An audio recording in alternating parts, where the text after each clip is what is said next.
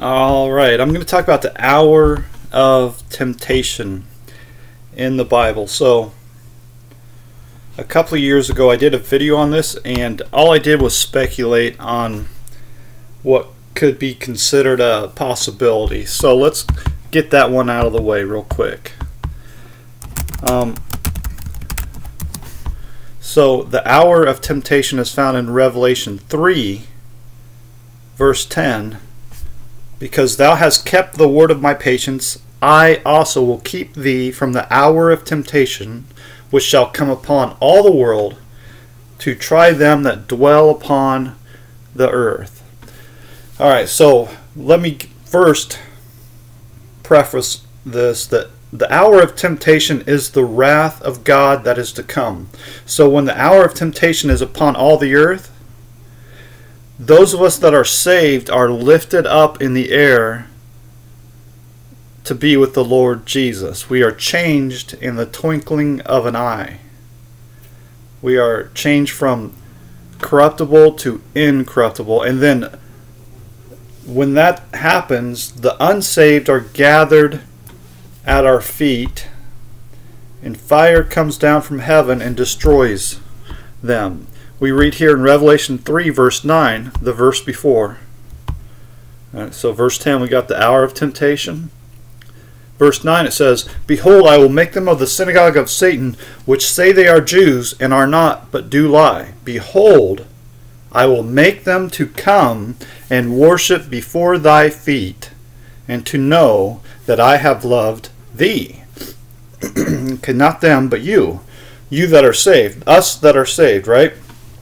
So I will make them to come and worship before thy feet. That means they are gathered together at our feet. All right, and that's exactly what we read in uh, Revelation 20, right? At the end of the thousand years, the devil or Satan, dragon, the old serpent is, is loosed and he gathers together the, the unsaved at our feet. You see the parallel there? So when you start to connect the dots, all this stuff, it makes so much more sense, and you realize how simple it is, and it's just telling us basically the same thing in regards to the end of the world. It, it just tells us the same thing in many different ways connect the dots and it's really just saying it's all saying the same thing. So what is this hour of temptation?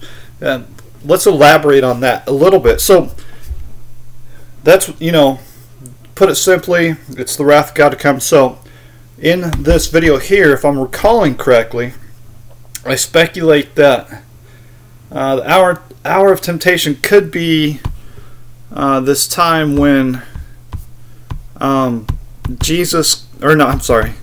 Let me collect my thoughts here. So, I speculated that it was uh, possible UFO alien encounter, and you know, the, all the media will present this idea that there is a place where there are aliens and that we should go there. All right, so the hour of temptation is going to be this idea, you know, because people really do want desperately to believe in UFOs.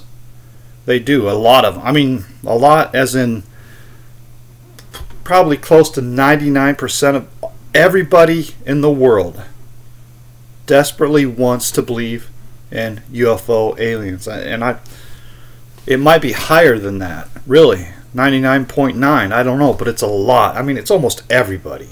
It's ridiculous and there's no truth in it whatsoever. And I could get into why I think that is, but that's what that's what I see in my experience. Almost everybody believes in UFO aliens. So in this video, all I do is I speculate, and I, I preface it by saying I don't believe any of this. But let's just suppose for a second that there was a UFO alien encounter, and the hour of temptation is this alien encounter and uh, so we go to like Matthew 24, and it says, uh, you know, if anybody says uh, He is there. What is that verse? If then if any man shall say unto you, Lo, here is Christ, or there, believe it not. So this would fit in that scenario that hey, well, it's not Jesus Christ, but it's you know Marvin Martian Christ. You know what I'm saying? That you know the aliens came and they, you know, you get this new vaccine and it'll give you, it'll add 50 years to your life or whatever. You know, I don't know, some something ridiculous. You can almost see that potential scenario playing out. I think if they could pull it off, they would, but they can't, so I don't believe they will, and they won't. Any any idea of an alien invasion or an alien encounter, I think, is completely off the table because there's absolutely no way they could pull it off. They're not smart enough, and if there was any possibility that they could pull this off, they would have to kill, uh, you know, probably uh, millions of people. They would have to make it devastating, absolutely devastating world, not just a few people in a, in a big city, but I mean a bunch of people to strike absolute fear into the rest of the people. That's the, and I don't believe that's going to happen. There's no way. I, I just don't think it, they. I don't. I just don't think it'll happen. Okay, it's an interesting idea. It's an interesting thought, but there's no way. And so the reason why I say that, in order to fake an alien encounter, they're going to have to kill a million people, is because if you look at every other, uh, without uh, mentioning specific events, but you look at these events, the majority of them that are, are not true, they either kill people or they instill absolute fear of death into people. That's how, you know, like a kidnapper, when, when a kidnapper brainwashes their victim, they're, they have to uh, assert their authority and instill absolute fear into their victim.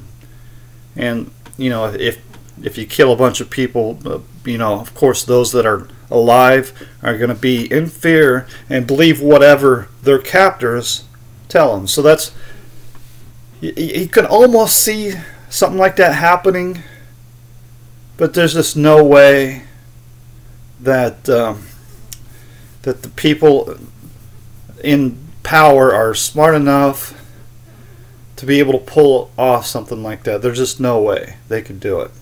I don't believe it at all. But, so the hour of temptation, so I want to get that out of the way because I just speculated for half an hour on that possibility. And I've prefaced it all by saying I don't believe anything that I'm going to lay out here. But, so let's talk about the hour of temptation. And I just I probably just laid it all out, but I want to give some support to uh, what I just said. So did I just did I do that already? It's mentioned one time in Revelation 10. That's that specific phrase. And so, uh, first of all, I want to go to Matthew 6 where uh, where Jesus says, uh, you know, you know, since I was a believer, this is what I memorized over and over. You know, Jesus says, uh, uh, when you pray, don't pray openly uh, out on the streets to be seen by men, but rather go in your closet and pray in secret or pray in private. And your Father, which sees everything in secret, shall reward thee openly right? And so when you pray, pray in this manner Our Father, which art in heaven, hallowed be thy name. Thy kingdom come, thy will be done, in earth as it is in heaven. Give us this day our daily bread, and forgive us our debts as we forgive our debtors. And lead us not into temptation, but deliver us from evil. For thine is the kingdom and the power and the glory forever. Amen. So lead us not into temptation. So where does temptation come from? It comes from the devil. So if we go, I mean, we see example after example of this, and uh, even Jesus was tempted. And when the tempter came to him, he said, If thou be the Son of God, command that these stones be made bread.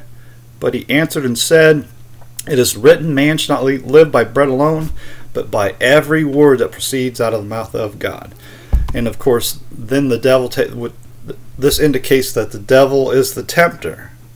Right? So we go to uh, oops, Revelation 3. The hour of temptation is the devil tempting the whole world. And when does that happen? That happens at the end of the thousand years when the devil is loosed and he gathers together the unsaved people. just all you have to do is connect the dots, and this stuff becomes so much easier to understand. It's so simple, and it might leave you scratching your head, wondering why did I think this book of Revelation was impossible to understand. And it's not. All you have to do is put the pieces together, connect the dots, and it's amazing. Absolutely amazing how simple it can be, but it takes patience. It takes trust in God. It takes faith. And you'll be able to see it for yourself that all these things that we're that we read about here in the book of Revelation it's essentially talking about the same thing, and that is the end of the world, the judgment day, and the life to come hereafter. It's incredible. Uh, the amount of wisdom, knowledge that is given to us in the book of Revelation is amazing. Now, of course, there's a whole bunch of people out there trying to deceive you and presenting false ideas that are contrary to the book of Revelation and contrary to the entire Bible. Now, remember, there is nothing in the book of Revelation that contradicts anything else in the Bible. And everything that uh, it's not a, a standalone prophecy everything is supported by the rest of the Bible. And you could figure out all this stuff by reading and learning and knowing the rest of the Bible. Because this, um, whatever you want to call it, the end time and the world to come, the end of this world and the beginning of the new world, if you will, it's all throughout the Bible. It's the big event that's coming.